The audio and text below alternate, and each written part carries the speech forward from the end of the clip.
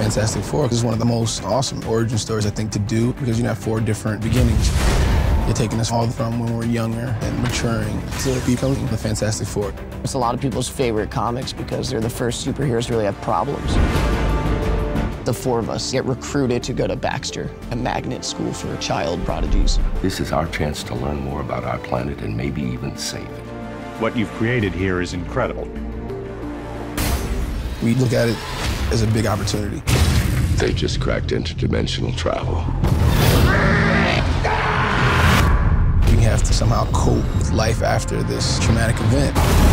What do you do when you wake up in the hospital bed and you're made of rocks? We had that common ground. We went through something together, so let's figure it out. You should use these powers to help people. And then we have a common goal that we need to take care of. You don't know anything about what's coming. What is coming? Doom. The end of your world is the beginning of mine. I'm surrounded by four very different boys, men, I'll call them men, who don't always act like men. The entire cast, we just really work well together.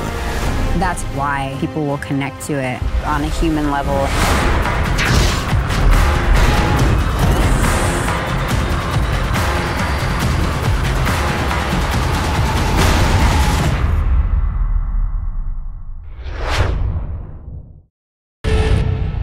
They just cracked interdimensional travel.